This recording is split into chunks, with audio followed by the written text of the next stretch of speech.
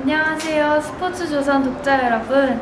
네, 2015년 새해에도 새해 복 많이 받으시고요. 또 리듬체조도 저 소년제도 많이 응원해주세요. 감사합니다.